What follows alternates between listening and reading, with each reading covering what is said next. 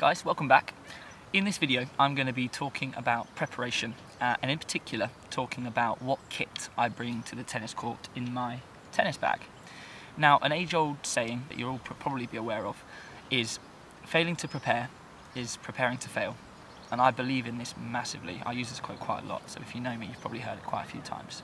Now the reason it's so important in sport in particular is if you've got everything that you need for your training session or for your tennis match or, or any sporting match in your kit bag, you're going to feel a lot more confident on that court or on that pitch. But also, you're going to have things in that bag that are going to help you to prepare yourself physically as well, which I'll go through in a second. Now, I made this video for tennis players, tennis coaches, but also tennis parents as well. And for tennis parents in particular, I'm not saying that you should be preparing your child's bag. In fact, actually quite the opposite. I think it's really important that we can encourage our junior players to pack their own kit bags. It's going to help them in the long run in, in with their life skills. It's going to help them to become more independent and more organised, and it's going to give them that extra responsibility and accountability so that when they do step onto the tennis court on their own to play a tennis match, they're going to feel a lot more confident that they can deal with things on their own. Now, some of the things that I've got in my bag today, which I'm going to go through, will be great for tennis coaches, and I'm sure lots of tennis coaches out there have these things in their bag. Some of the things I've put in additionally, I would put in my bag if I were to have a tennis match. And of course, there's going to be plenty of other things that may be more suitable for you to bring onto the tennis court or the football pitch or whatever sport you play. So let's get into it. So we've got to start with the most obvious things. Now, I obviously pack my tennis rackets. Now, it depends on what sort of tennis player you are and how often you play. If you are new to tennis and you don't play an awful lot of tennis, then actually bringing one racket is fine. I actually bring a few more. So I've got, this is my racket that I use to, to play with. I've got a slightly lighter version of that racket which I use for coaching if I'm doing lots of feeding. I find that the lighter racket just gives me a little bit more maneuverability when I'm doing lots of fast feeds for cardio tennis or something like that. I also have a spare version of my playing racket in case I break a string or if I need a restring because the tension's gone.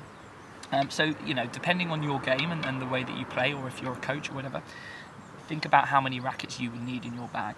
Like I say, it's not necessary to have as many as me, but as a coach, I feel that having different options helps me uh, when I'm coaching. The second thing I pack in my bag is tennis balls. Now, when coaching, I don't really need these. I've got a you know hopper of tennis balls, a lot of tennis balls, but it's always useful to have a fresh can, you know, just in case you fancy a hit or something. So it's definitely useful to have tennis balls. Uh, tennis match is going to be quite useless without them. The third thing, this actually isn't in my bag today. It's a bit too big. Um, this is, in fact, a water bottle. Um, as a coach, it's crucial for me to stay hydrated when I'm working on the court for, for hours in a day, especially in sunny temperatures like this. So this is actually a lifesaver. Very kindly, one of my players actually bought this for me. I did have a slightly smaller version, and uh, in my naivety, I used it as a target for serving, and one of my players crushed it. So uh, I posted a picture of it uh, on Instagram, and very kindly, the next week, one of my players got me this replacement and it's definitely an upgrade. So um, yeah, definitely bring a water bottle. It doesn't need to be this big if you're only playing for an hour or two, but uh, if you're a tennis coach, definitely worth investing in a big kind of two gallon bottle. So, on to the next item. You might laugh at these. So, I'm wearing a cap today, it's a bit sunny. I have a variation of my hat for when it's super hot. So, this one is amazing protects the back of my neck, keeps me cooler throughout the day. And then if it's a particularly hot day, maybe if it's a lesson that I'm not racing around the court too much, I've got this bad boy. Yeah, I mean, you don't see many coaches in the UK wearing these. We don't get the weather for it, but I thought it was funky and it's actually protects me from the sun.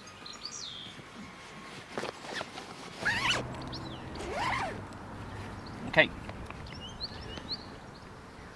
I think it's really important to pack layers of clothing in your bag. You never know when the weather's going to change. But also, you know, when you get on court and you're wearing a few layers to warm up in. And once you get warm and you take those layers off, whack them in your bag, but it's really important that you actually put them back on after you play. You may not feel cold, you know, you might, may feel like you're sweating and you're still hot, but actually those muscles need to recover and need to stay fairly warm. You don't want them going from hot to cold super quickly. That's when you get injured. So definitely pack a few layers. I mean, today I'm wearing a t-shirt, I'm wearing a long sleeve tee over the top of it, and I've got my hoodie, you know, for after when I play. And also, I mean, not a necessity, but I come to the tennis court wearing my runners, my, you know, my more comfortable shoes for, for kind of walking around. They're lighter weight. Once I get onto the tennis court, put my tennis shoes on, and then afterwards I'll put these back on as well. You know, not only is it for comfort, you know, the, the lighter trainers are good for just walking around in day-to-day -day life, but obviously I need to wear my tennis shoes on the tennis court. Also, if I'm playing on the clay, these tennis shoes tend to fill up with, with the, um, the artificial clay, and so actually I don't want that being traipsed around the house. I bring a, a spare pair of shoes along with me as well. And final few things in this pocket. So these are things that I would bring in my bag if I were to have a tennis match or if I were to do a, a, you know an intense training session. And these are to help me to prepare physically. So in here I've got a of lightweight resistance band. I use this band quite a lot to warm up before playing. Really good tool, definitely something if you're a player that plays in matches or somebody who, who kind of tends to get into some quite intense tennis on the tennis court, so useful to warm up with. I've got this, I think they call it a lacrosse ball, but it's um, basically a massage ball, size of a tennis ball. It's hard, it's got these bumps on it to help you to kind of relieve some of the, the knots that you've got in some of your muscles. So another good tool for kind of sitting down and massaging your, your calves on the floor or up against the wall if you've got any shoulder pains. Good tool. And my final piece of warm-up equipment is my skipping rope. Great for any sportsman. I mean, it's uh, it's a good coordination tool, good for your fitness, really good way to warm up. Okay. I do have one more thing in this pocket. This is more relevant in these times as a tennis coach. So, got a pack of disposable gloves. Obviously, during these times, they are used for players um, if they wish to practice their serve and they haven't been touching the tennis balls in the session, they can put on that glove, um, you know, to make sure that there's no transmission of, of COVID. But um, you know, that's something that's new to my kit bag, and, and if you're a player yourself, you probably won't need them. But as a coach, it's quite a good tool to have. So, moving into one of the small pockets.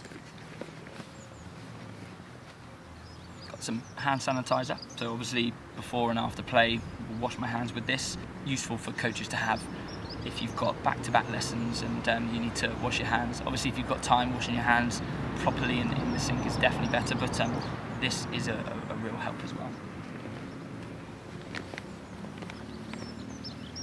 And overgrips. So I like to put a new overgrip on my racket if I've got a match coming up, if um, my other one's starting to wear down. I just like the feel of an extra overgrip on top of my replacement grip. So an overgrip is just a thin grip that goes over the top of your existing grip. It makes the grip slightly thicker. So I'm a grip size 3 and I tend to have an overgrip over the top. But um, it gives it a slightly fresher feel. Um, I tend, I don't really like the really tacky grips. These ones are kind of in between tacky and, and chalky. So I like to put these on to give my racket a nice new fresh feel not a necessity over grips, but something um, that some players like to have. And in the final pocket, in here, my sunglasses. Now, as a tennis player, I didn't actually like playing in sunglasses. I found it obstructed my vision a little bit, but um, as a coach, it's a lifesaver. Having these when I'm out on court in the sunshine for hours on end really protect my eyes. Um, I bought these ones, they've got their wrap around so they protect the whole of your eye. Um, but also they've got polarized lenses. So, you know, tennis players, you don't need to wear sunglasses. You kind of get used to playing in the sun and you're not out there for hours. But as a tennis coach, definitely a, good investment. And if you're going to get some sunglasses, make sure you get some good lenses because it will be worth it. You've only got one pair of eyes at the end of the day. Uh, in this pocket as well, I've got a mini tripod called a Gorilla Pod, one of the flexible ones. I use this with my phone. It's got an attachment on which I'm actually using on the, the tripod um, you're being filmed on at the moment. But um, great to put on the side of the court. You can attach it to the fence or the net post. You can wrap the legs around to, to attach it. Really good tool for video analysis. So I, I tend to video quite a lot of my players. You know, it might be video in their serve to show them what they could uh, be improving on um, and give feedback instantly. So mini tripod, great tool to have. And the final thing in here is my card reader. So again, with individual lessons or, or when players want to, to pay for their coaching or whatever, they don't have to pay with cash. They don't have to, you know, pay with card. Actually, they can pay with their phone as well. So, as a tennis coach, this is a great tool. You obviously don't need it if you're a tennis player, but if you run a coaching business or you've got your own coach coaching program, or you need to take any kind of money, uh, I use an iZettle. Definitely recommend it, and um, yeah, it just makes your whole business slightly more professional as well. So that's my bag, that's what I bring to the tennis court. Obviously in this bag I probably wouldn't pack quite so much on a day-to-day -day basis, quite heavy. But if I've got a day of coaching, I'll bring the coaching necessities. If I'm playing a match, I probably won't bring lots of the coaching stuff, but I'll bring a bit more of the physical stuff, the warm-up equipment, and I'd probably pack a banana and something like that as well. I'm not one to have uh, energy drinks or, or, sugary drinks like Lucozade and things. I bring my water and a banana to you know top up my electrolytes. But um, yeah, that's what I pack. You may pack something slightly different. If there's anything extra that you think I've missed out, let me know in the comments below. I'd be really interested to see what you pack in your bag. And um, hopefully I've helped you with a few ideas as well. See you soon guys, take care.